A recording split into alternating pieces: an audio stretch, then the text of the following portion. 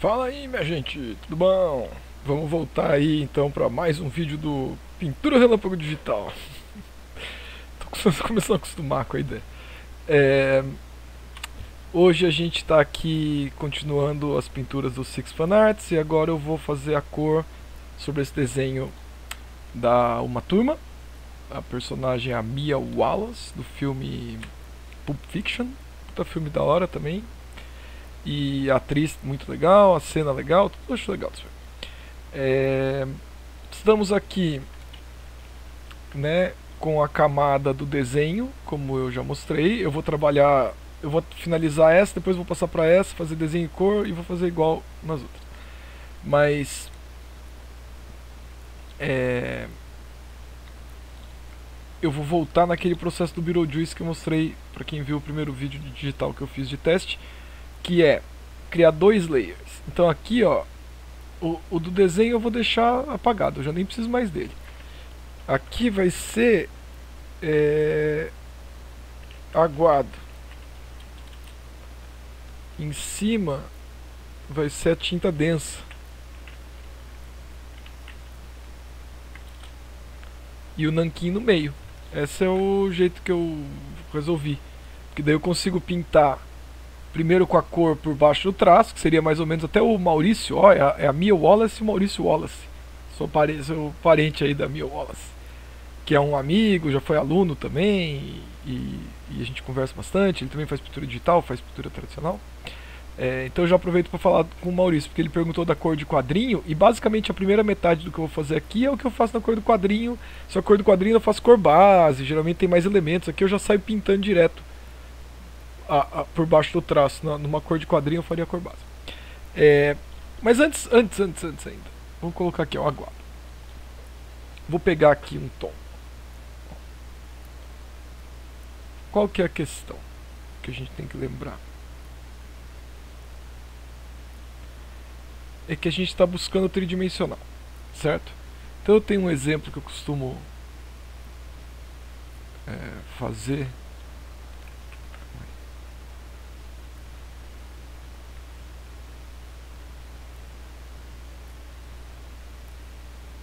um hexágono assim, ó.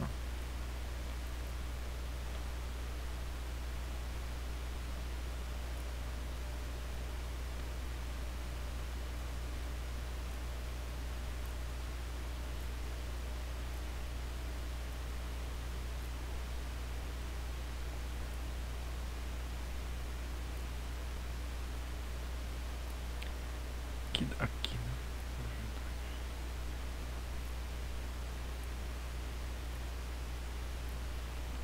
Que daí, ó, por exemplo, se eu tirar a transparência, tá vendo? Qual que é a questão que eu tô fazendo aqui? Para explicar para vocês. Imaginem a cabeça dela.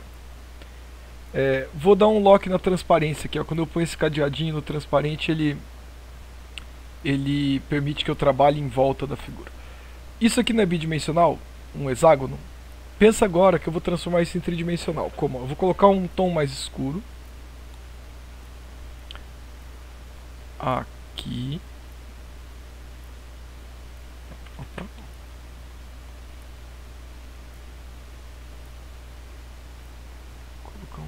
Escuro aqui. Ó, com dois tons que eu coloquei, não virou um shape tridimensional? Imagina se eu começasse a colocar agora uns brilhos, uma luz aqui assim, ó. E fazer uma passagem de gradiente. Ó, eu ia começar a iluminar essa figura. Se eu tirar aqui agora e colocasse uma sombra projetada. Né, ó. Não começa a virar uma forma tridimensional, como se fosse uma massa. É isso que a gente vai fazer no rosto dela. E daí uma hora esse traço vai virar só a marca escura do fundo. Porque eu vou sobrepor com isso. Então isso aqui é a linguagem da pintura. Linguagem da pintura. Que é o que? Que é o, o 3D. São essas faces e essas quinas, principalmente as quinas, tá? Lembrem-se das quinas.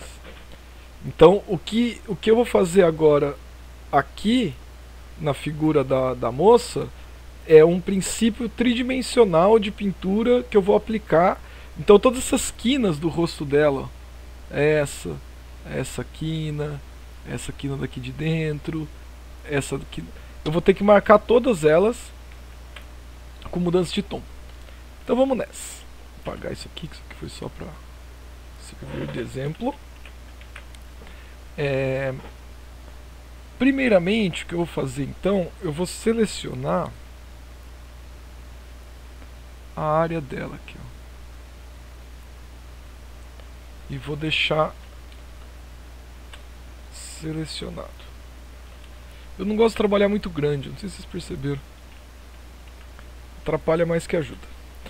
É, agora a leitura que eu quero fazer dela vem de uma coisa meio meio bege mesmo. Não, acho que tá muito marrom. Também não vou usar o conta-gota para ficar pegando as cores daqui. Eu uso o conta-gota para pegar minha própria cor. Dá também, se vocês quiserem muito. Mas eu eu prefiro criar minha própria paleta de cor e acostumar a criar minha relação de cores e tons. Existe uma mania de ficar pegando coisa pronta. Só que depois, quando vocês precisam criar uma paleta de cor, não sabe.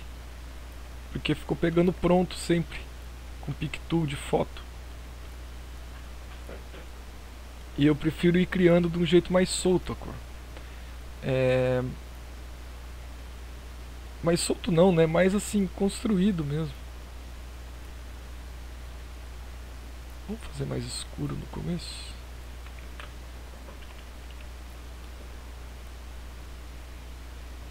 Acho que esse azul pode entrar aqui.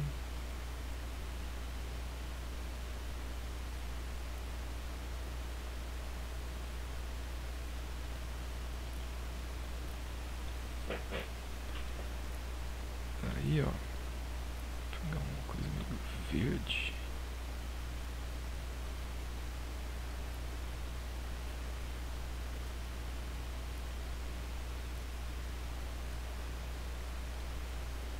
Um cinza cromático.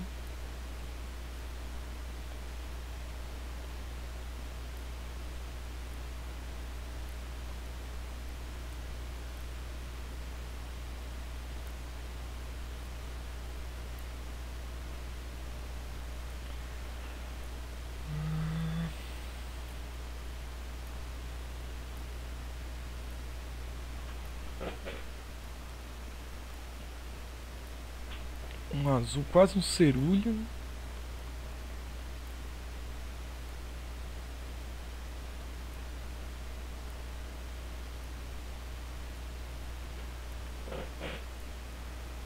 Tá. Agora eu vou escurecer todo o fundo.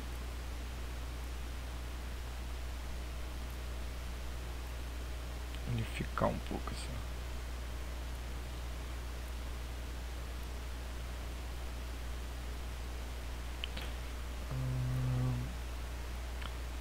queria vir com esse verde.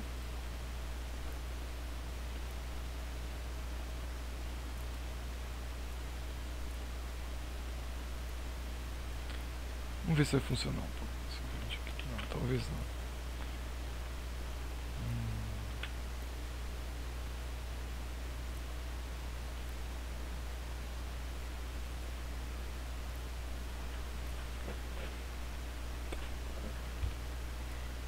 Agora a pele dela.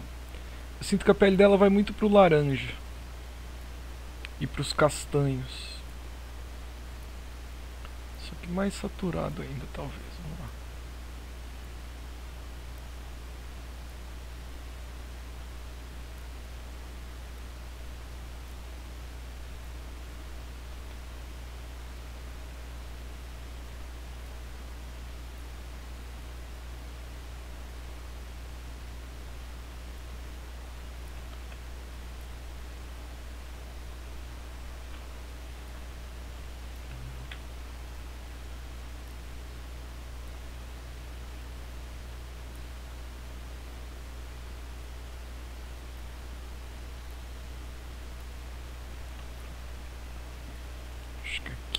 tem um.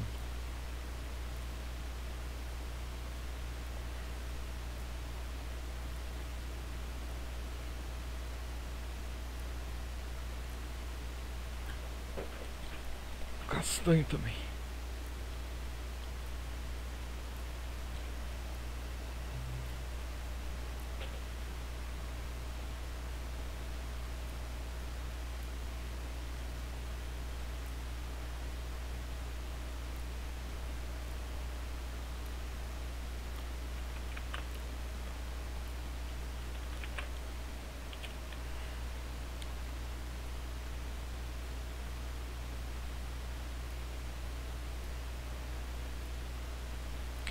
Lembrando que várias dessas coisinhas que eu estou fazendo aqui, quando eu começar a cobrir a cor, né, trabalhar no, no layer de cima do traço,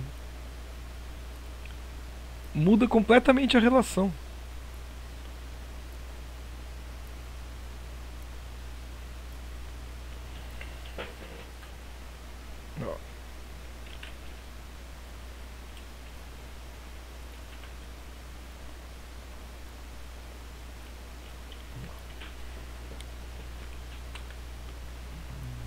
Colocar mais magenta agora um pouco. Vocês viram que eu vou fazendo a leitura da cor pelo que eu sinto de presença de cor ali? Mas eu não quero ó, colocar um gradiente daqui para baixo. Não quero copiar. Eu já estou usando a referência, já está bom já.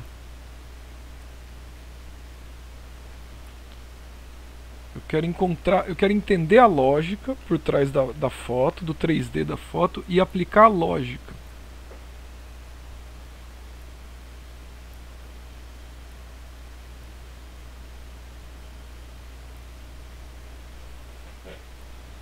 Achar essa saturação.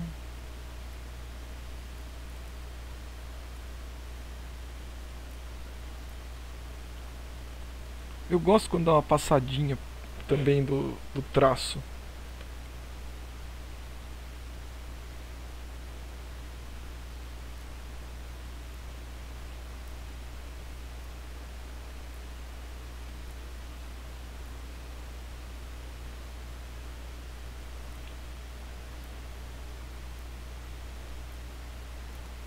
Pegar o branco do olho, vamos colocar um pouquinho ali só para dar uma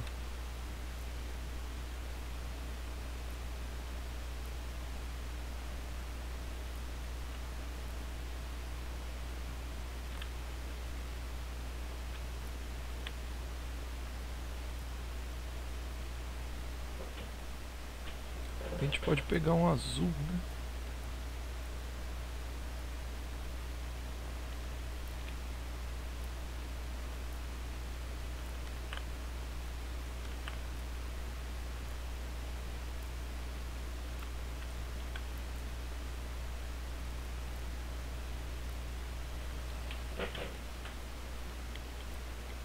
Ó, bem, bem no caminho da cor do quadrinho, como eu disse, né? Ainda tá totalmente respeitando o traço.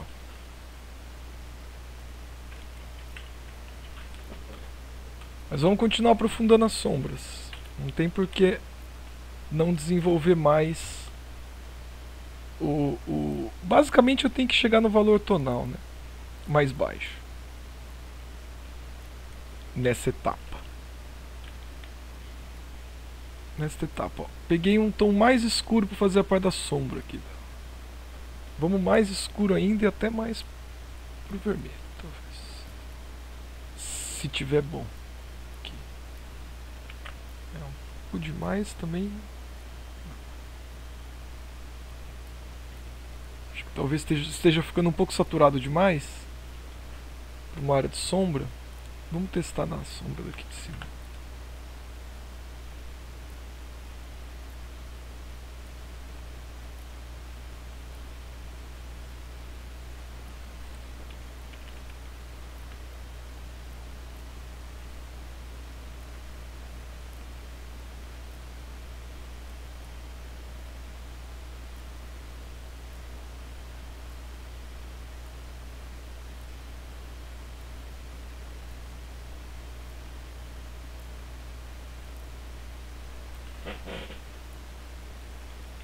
Oh, mas tá vendo como a, a luz está... A luz e a sombra estão começando a surgir? Vou pegar um tom um pouquinho mais claro.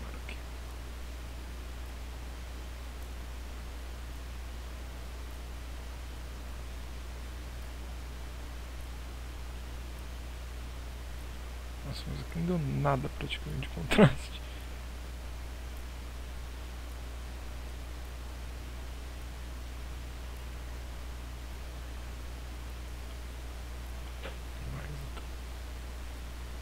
Praticamente no branco quase.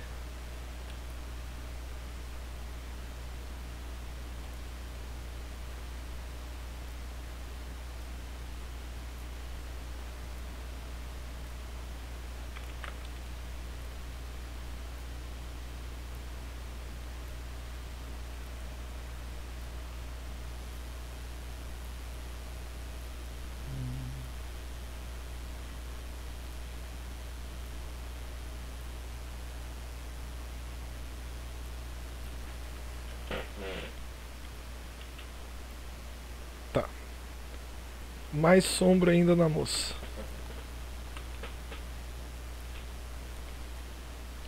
Acho que aqui.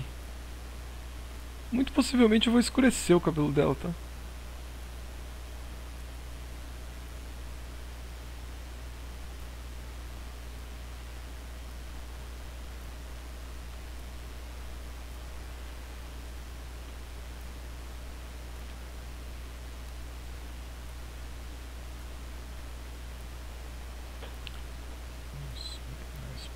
Escuro.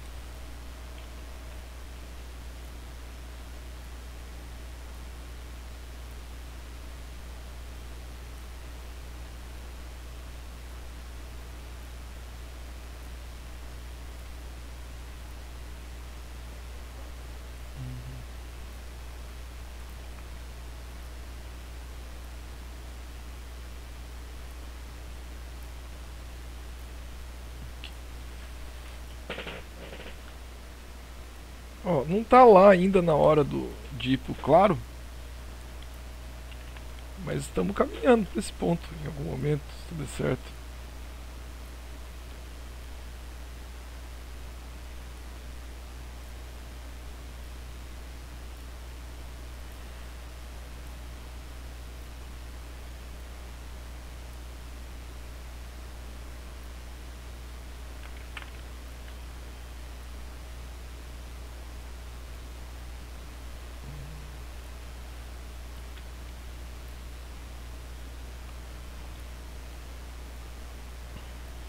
Vou começar a colocar um pouco de luz também. Só para já mapear a área de luz mesmo aqui.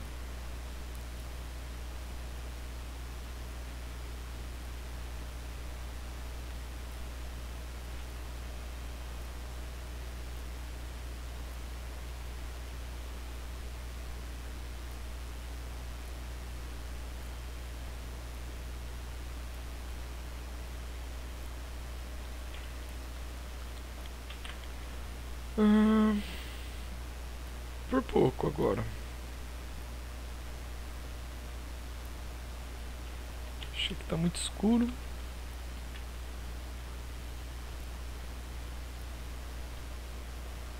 O olho dela.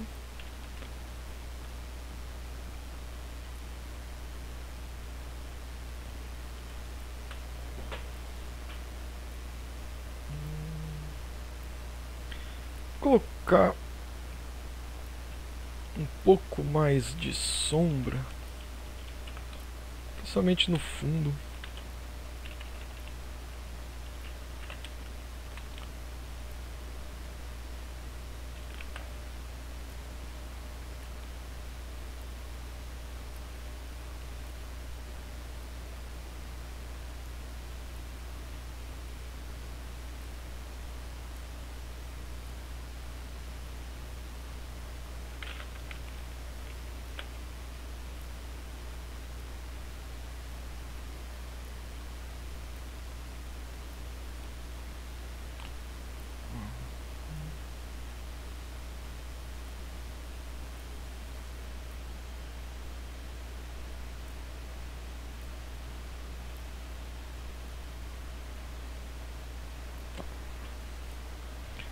Aqui acho que pode ter um pouquinho de gradiente.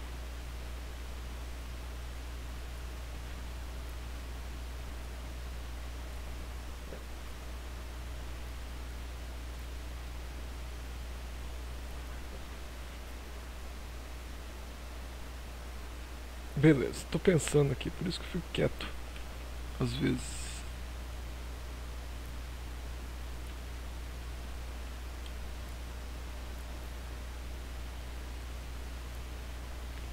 Me conhece sabe que eu ficar quieto não é um negócio fácil não.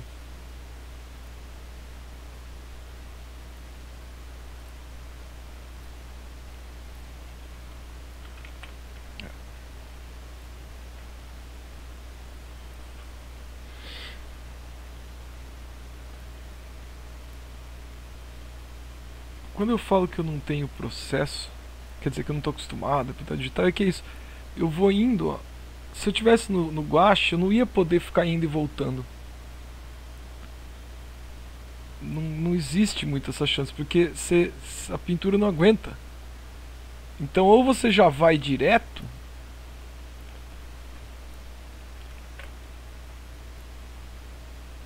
ou meio que não vai funcionar. E no digital, consigo testar, consigo escurecer um pouquinho, clarear, pintar por baixo do traço, pintar por cima do traço. Nesse sentido que eu costumo dizer que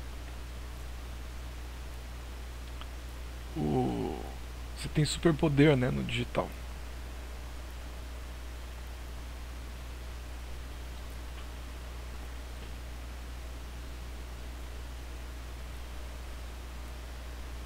Acender um pouquinho mais a luz dela. Daí a gente vai para os opacos.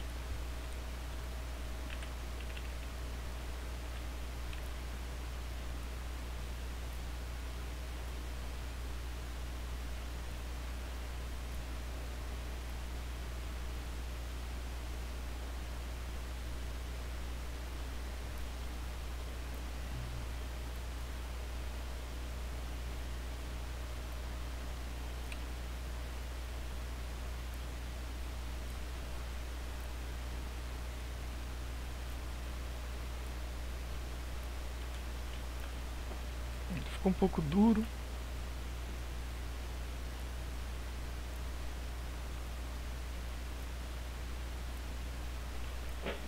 Acho que basicamente a luz também é meio essa. Eu ainda sinto que o fundo precisa escurecer.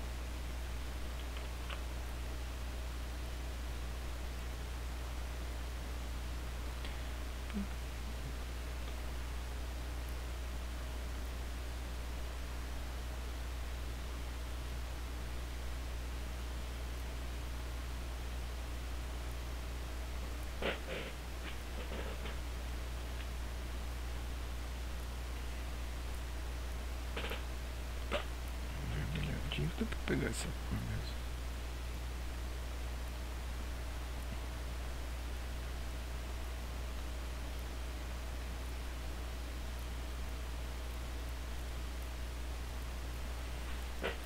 Tá vendo que eu criei um tipo de um ambiente lá no fundo, ó?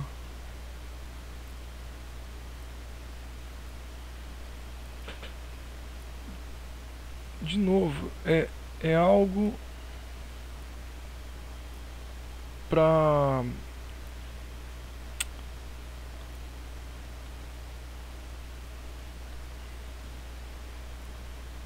para dar uma sensação de ambiente, né?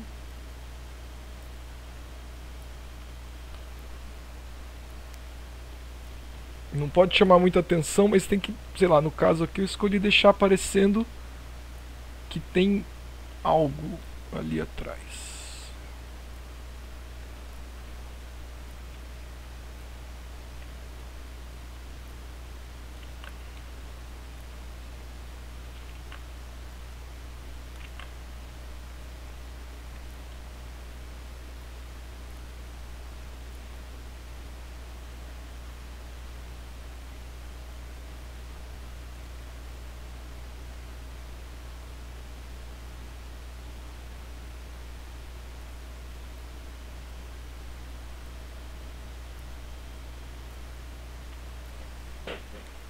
Tá, daqui a pouco eu posso mexer ele de novo, não quero também ficar muito tempo nesse fundo.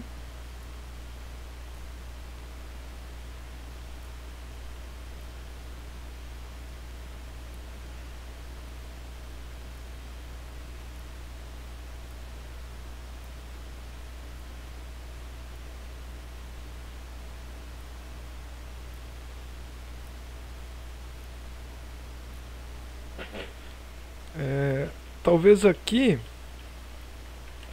eu já possa vir para a camada de cima. Ó. tipo uma chinesinha. Mas tá vendo como já tem um pouco do efeito de luz? Agora vamos para a camada de cima logo. Que é a tinta densa. Salvar aqui.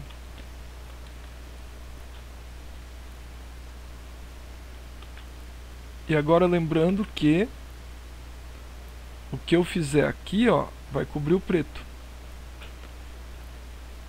Então agora muitas das pinceladas que eu fizer elas têm que estar tá muito sabendo o que está acontecendo com elas. Porque elas vão cobrir preto.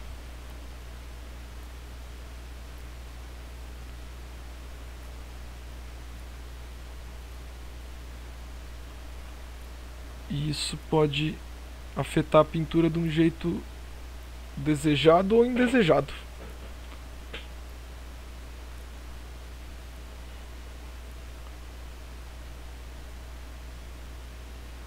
Né, onde eu quero aliviar o traço, por exemplo.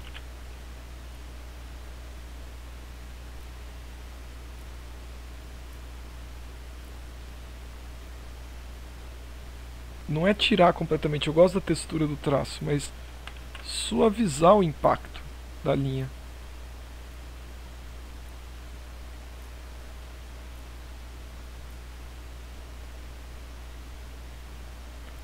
Aqui, por exemplo, eu sinto que, tá, que viria um roxinho de bom grado às vezes.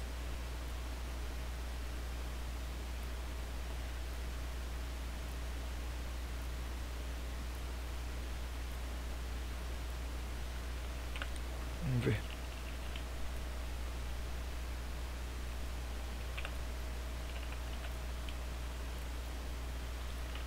Está muito forte.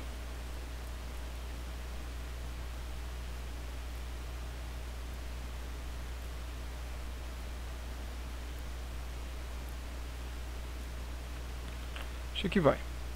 Viram que eu testei, ó? Eu acho que esse tom ele encaixa aqui. Talvez.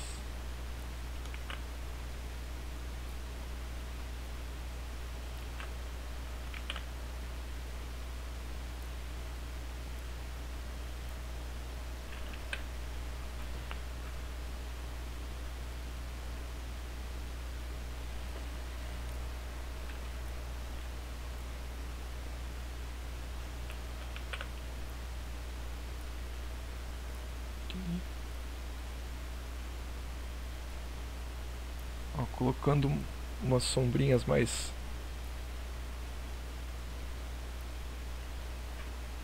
mais é, não é localizada, cirúrgica quase.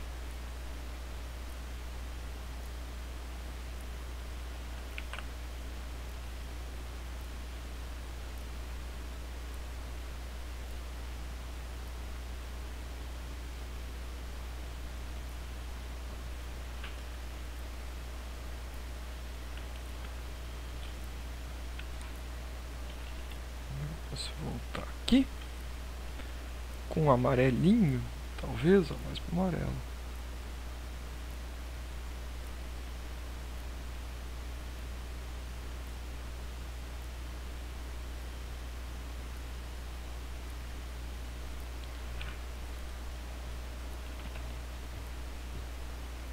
Aqui também.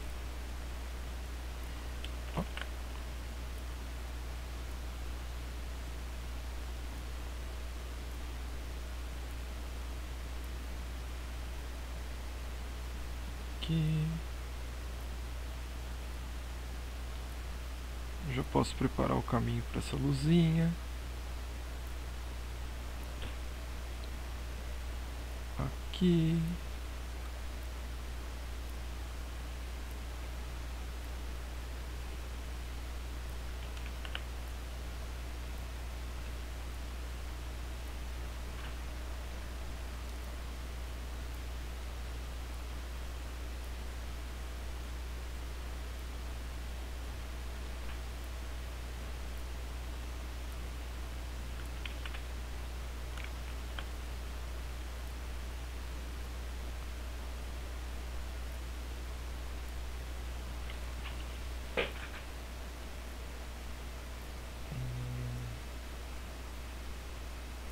Estou observando aqui pensando.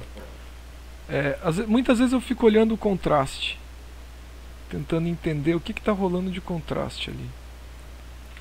É,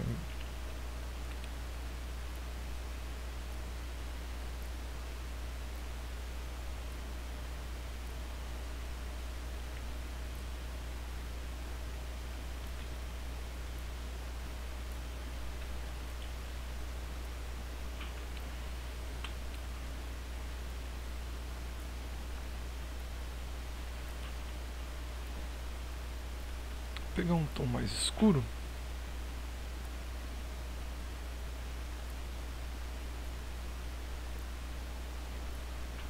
Para trazer umas áreas da sombra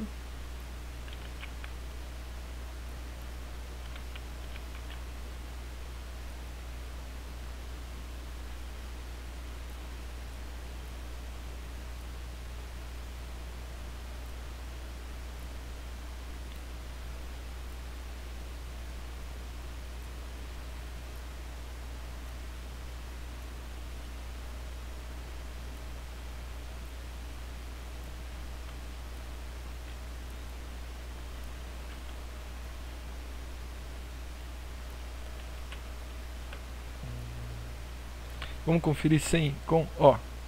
Olha como a gente não percebe, mas olha como a, a camada de tinta densa vai se impondo e vai transformando ela numa pintura, vai atribuindo, vamos dizer assim, uma sensação mais de pintura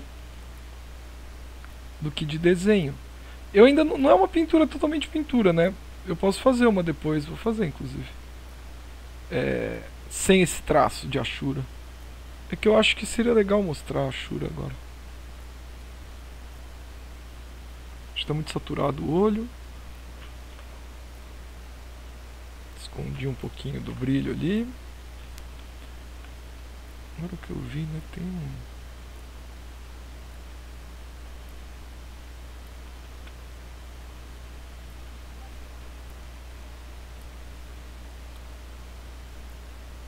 vermelhinho. E vamos acender essa luz mais pro branco, mais pro amarelo.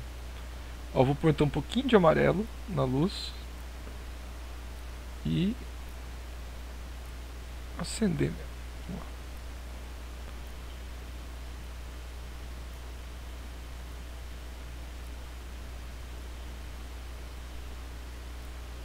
Estava sentindo falta de amarelo na luz dela, acho que vai ajudar.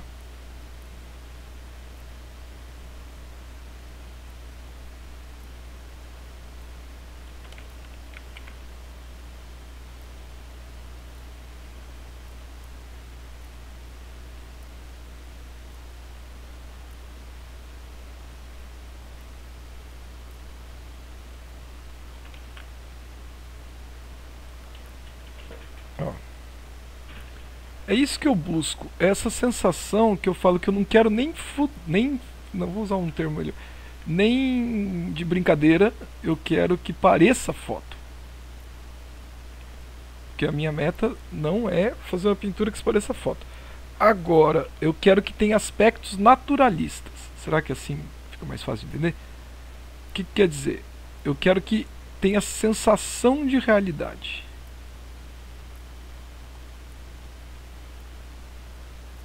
Que eu acho mais legal, quando tem uma sensação de que aquilo parece com real, mas quando você olha você vê que é um desenho. Ó, por exemplo, a sobrancelha dela não tem esse pretão. Eu posso dar uma matadinha na, na sobrancelha dela. Posso deixar mais pretinho aqui no fundo. Aqui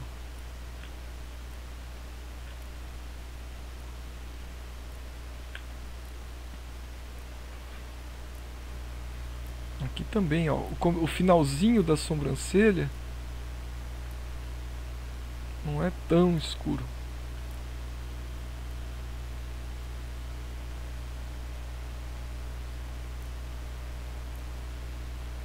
Ó, tem um reflexo aqui, acho que vai dar um, um efeito interessante, vamos ver. Um reflexo laranjinha. Um segundo reflexo na franja dela. Isso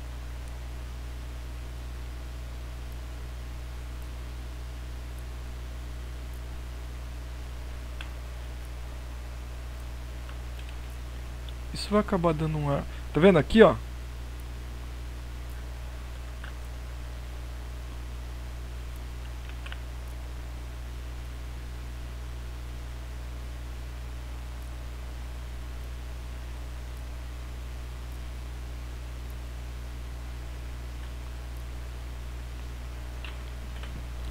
Ó, isso dá uma sensação de luz interessante.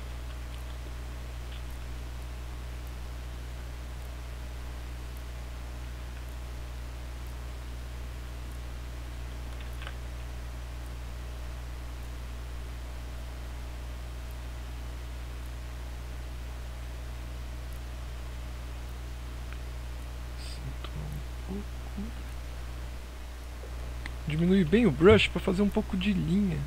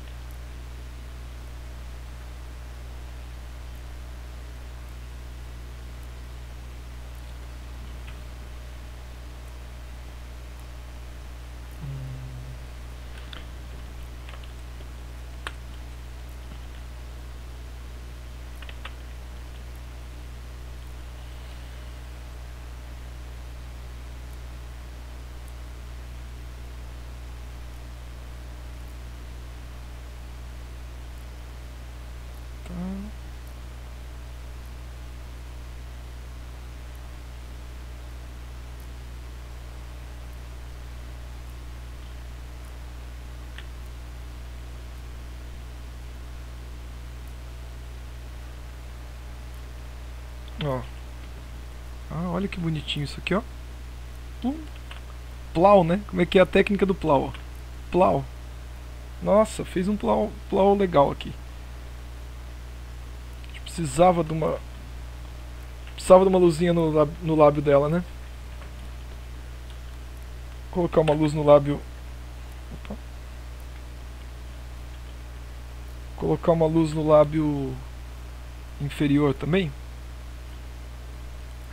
aumentar um pouco o brush.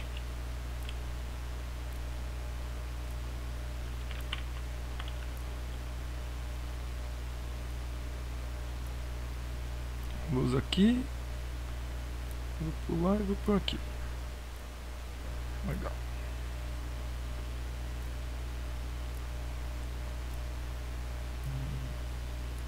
Mas estão sentindo aos poucos como como evoluiu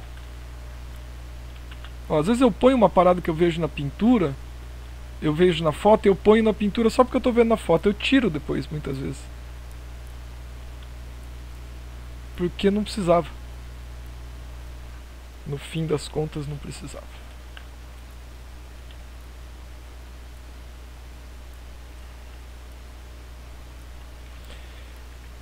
Ó, eu acho que a expressão tá legal, que lembra a personagem, não vou. Não, não tô querendo chegar no, nos finalmente, mas primeiro eu quero ainda garantir que ah,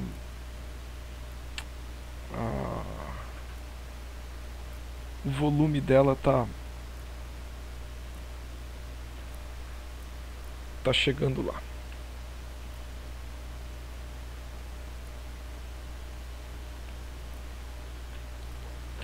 Sentindo que caberia um pouco do batido meio azul aqui, ó. Que vai me dar um cinza cromático.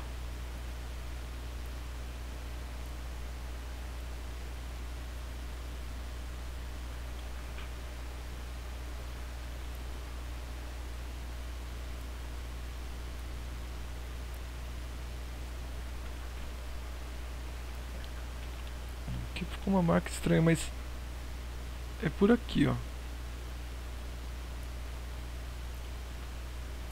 Talvez... Ó, agora eu vou vir com o Pictu, vou copiar esse roxinho. E vou achar um lugar pra ele aqui. Um lugar pra ele chamar de dele. Chamar de meu.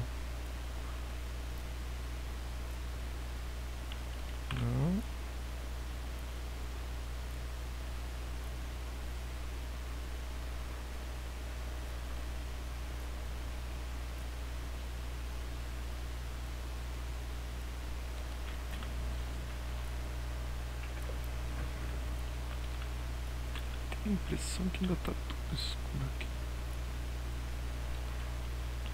Ah, ficou melhor. O olho dela tava muito saturado. Ó, oh, mas vocês viram esse roxinho que eu, que eu encontrei aqui? Caminhando sem querer? Como ele...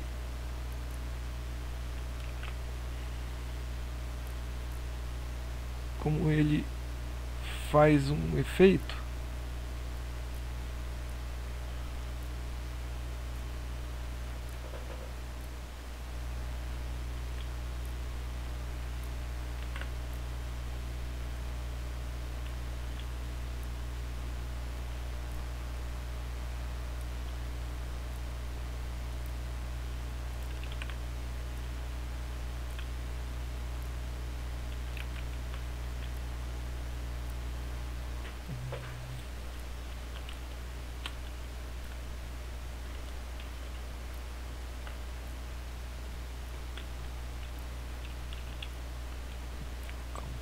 ele aqui pra ver.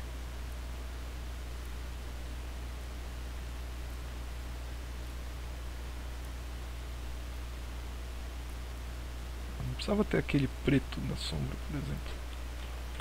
Nossa, olha como melhorou a sombra dentro dela.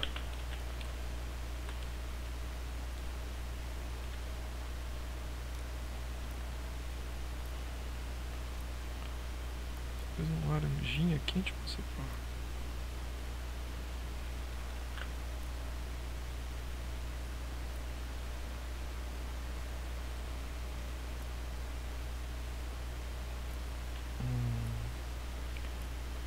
Agora ver com esse violeta.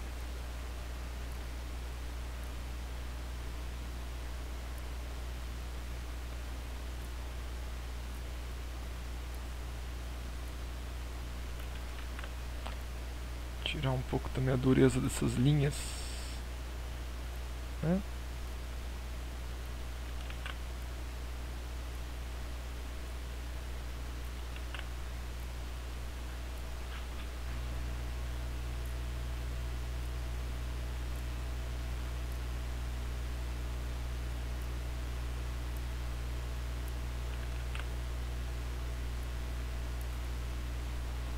Ó, geralmente eu não vou direto até acabar. Igual eu tô meio que fazendo aqui, né? Geralmente eu eu paro um pouco, sei lá, tomo um café. E aqui eu vou direto. Mas sa saibam que muitas vezes o normal, na verdade, é dar uma paradinha, não é? Não tem uma necessidade de acabar. Né? Até quando o pessoal pediu para fazer os, os, tutoriais de digital, eu, eu comentei no, no, início que, falei, puta, mas eu não tenho tanta segurança para ir pintando. Às vezes eu demoro, às vezes eu fico na dúvida. Da galera, não, faz assim mesmo. Beleza. Fico feliz. Agradeço vocês terem pedido.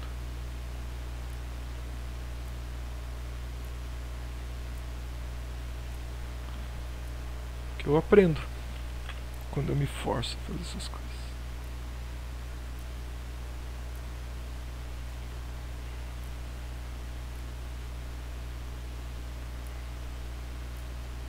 Alguém até perguntou como é que eu lido com a procrastinação. E daí eu a minha sugestão para a pessoa foi achar algo que deixa ela empolgada, porque é isso que eu faço. Eu não é que eu sou de ferro e tenho vontade toda hora de fazer, mas se eu gosto, se eu estou empolgado, eu arrumo força e ânimo. Mas se eu não tô afim de fazer alguma coisa, se eu não tivesse afim de fazer essa uma turma aqui pintada agora no guache, conversando com vocês, ia ser foda eu fazer. Se fosse um trampo. Mas daí também eu ia fazer porque é um trampo.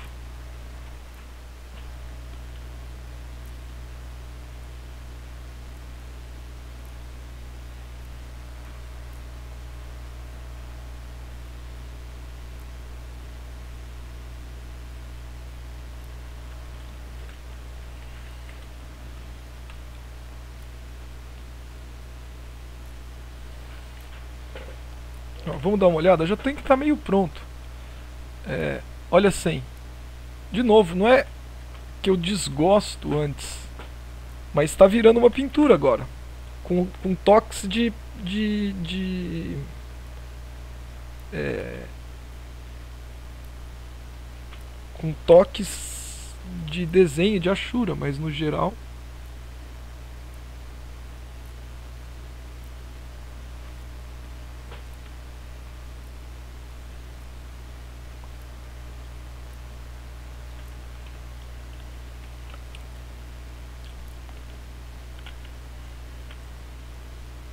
Vamos ver agora como é que a gente pode resolver esse fundo também. Antes de tacar uns highlights. Para não ficar enorme o vídeo também. Então agora tem uns saturadinhos aqui, ó.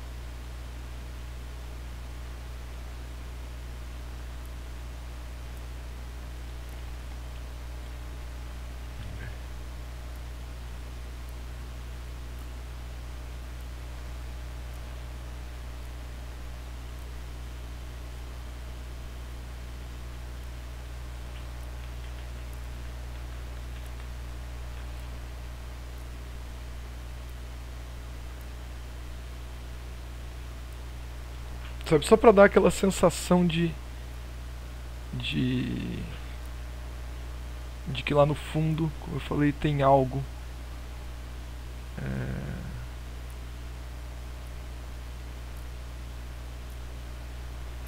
Então tem que ser algo borrado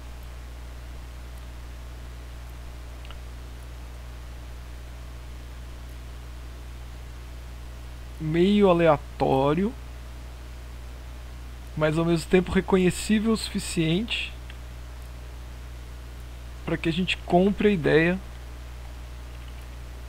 Né? Porque essa cena principalmente é muito famosa. Então, quando é uma cena icônica, a gente sabe que eles estão numa lanchonete lá meio temática. É... Muita gente já viu esse filme.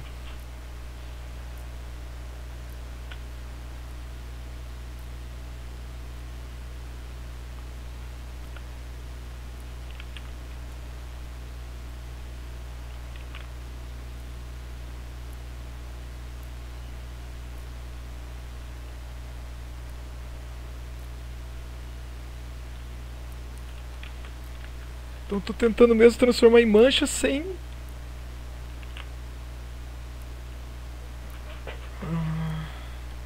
Pro olho pegar com a visão periférica mesmo e, e, e achar que tem alguma coisa ali.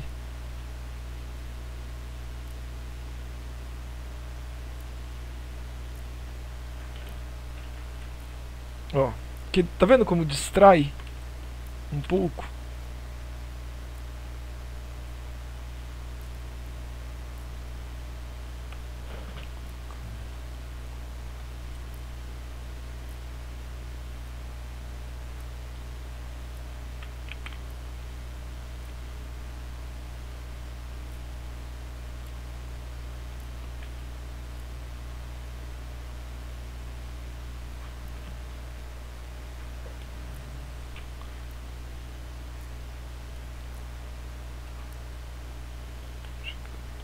quase um branco.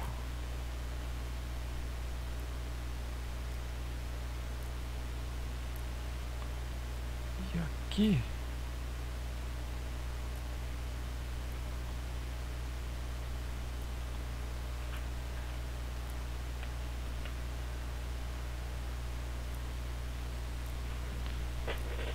Ó, agora vamos para os highlights dela, que também vai dar uma hora de vídeo daqui a pouco e eu não quero, não queria que passasse muito disso, não queria nem que chegasse nisso. Aqui primeiro eu sinto que podia estar tá mais para amarelo.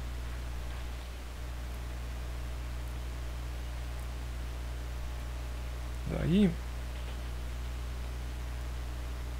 podia estar tá praticamente branco puro.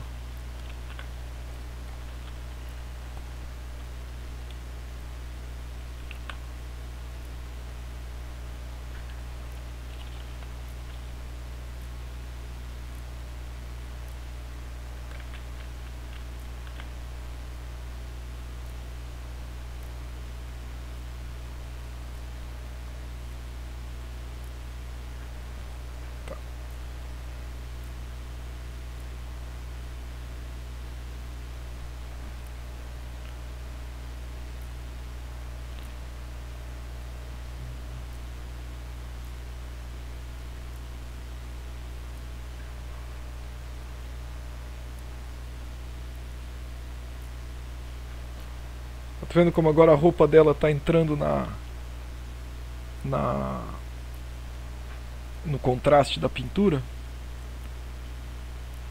Vamos tacar um branco mesmo para ver?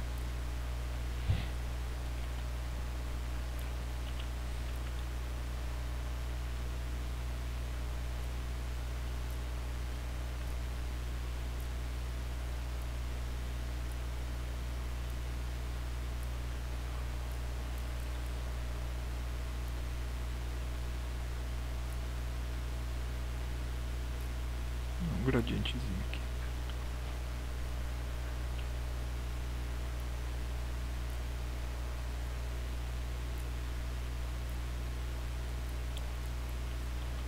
Daí eu faço a pontinha pelo lado de fora.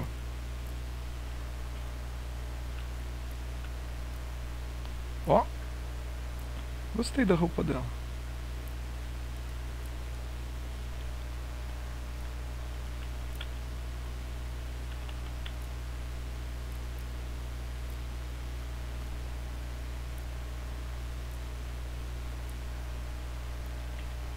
de novo, olha o efeito que dá agora. Né? Podemos pegar, sei lá, esse tom aqui.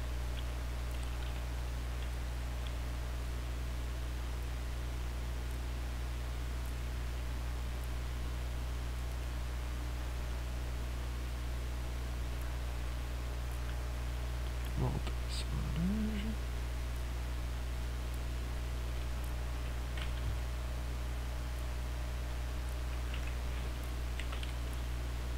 acho que um pouco do pescoço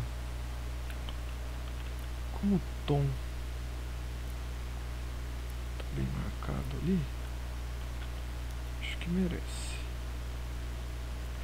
Daí a gente pode até pôr uma saturaçãozinha a mais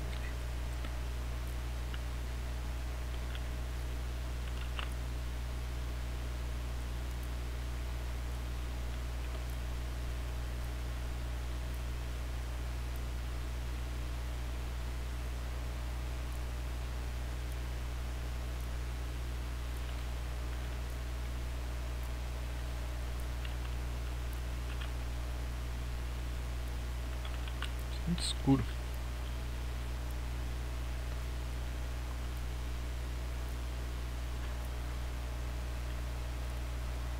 Tá.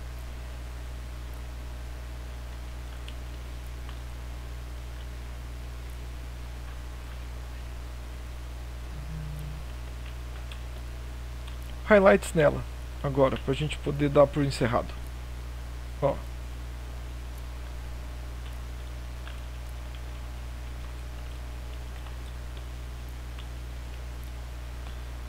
Então aqui, vamos pegar quase branco. E ó, pincel menor.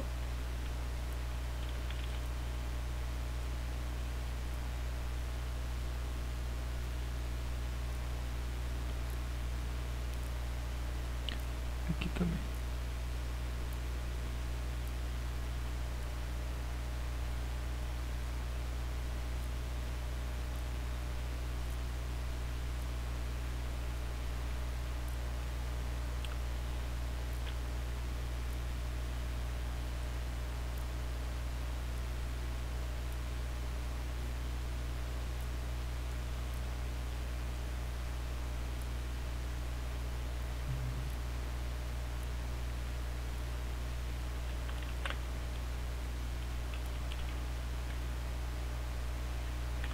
Agora é hora de acender mesmo a luz dela. Se eu quiser trabalhar render, né, galera, sempre dá pra ficar fazendo, tá? Render é quase questão de tempo. Render que eu digo é ficar dando... lambendo o trampo. Deixando todas as passagens suaves. Pra mim a expressão é mais importante. A sensação de, de vida ali do desenho.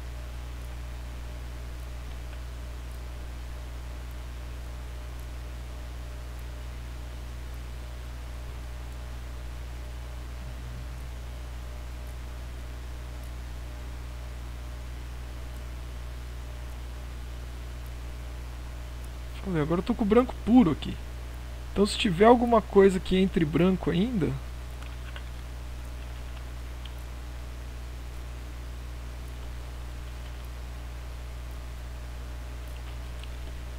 Acho que aqui entrou muita luz.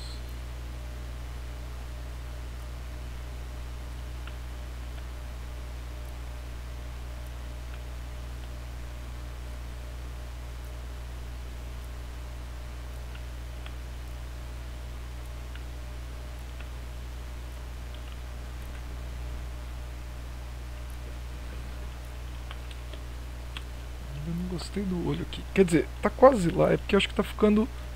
Precisa da, deixar um pouco maior a pupila e a íris.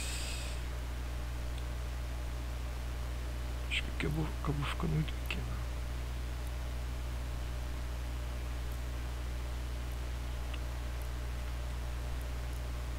E aqui o brilho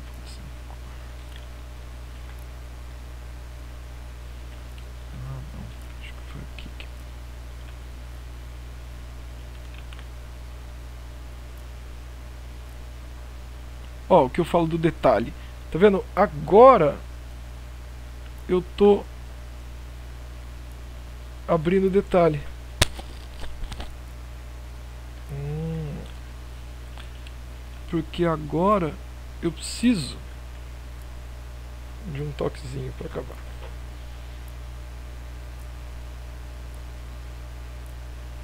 Acho que ainda está muito grande aqui.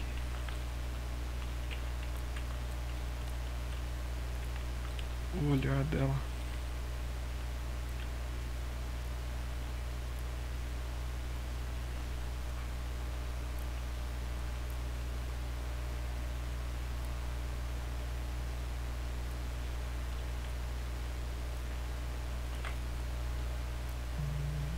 Bom, uma horinha aí, já deu praticamente. Ó, nada impede de que eu mexa um pouquinho mais enquanto estiver fazendo os outros. Como eu falei, o normal da minha produção não é acabar tudo de uma hora para outra, na verdade. É ter. É, refletir a respeito. Ó, um azulzinho aqui fica legal na sombra.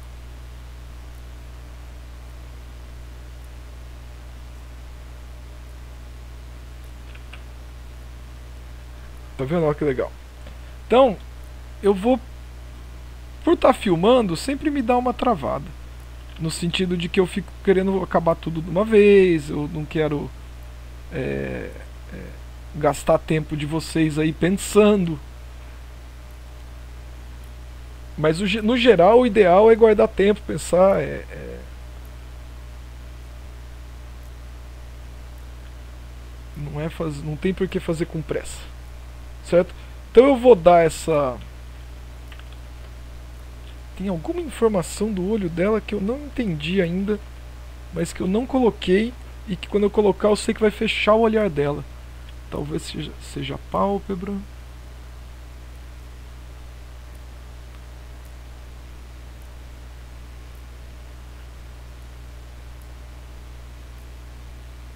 Mas como eu disse, às vezes ficar insistindo é pior. Então eu vou deixar assim que ele já está bem adiantado. E se daqui a um dia ou dois eu tiver alguma ideia do que fazer, eu mexo um pouquinho, porque provavelmente vai ser pouco. É...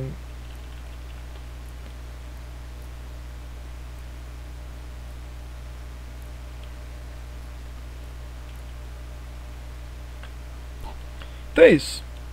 Deixar maior aqui pra vocês verem. Recapitulando, ó. Tava aqui, né? Esboço. Daí arte final. O aguado, que veio por baixo. E depois o denso, que veio por cima do traço e deu a cara de pintura. E eu poderia ter feito com essa cara de pintura desde o início, se fosse a ideia.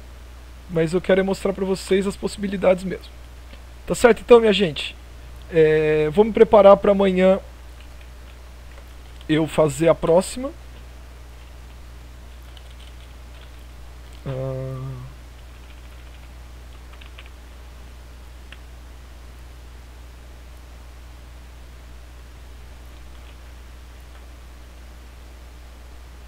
E daí a gente vai conversando. Se eu não largar isso aqui e não fechar agora, eu não. Eu não não paro nunca e eu quero dar um tempinho para poder olhar e depois eu mexo um pouco mais. Nem que seja amanhã ou na próxima. É que parece que eu tô quase entendendo. Talvez seja aqui, ó.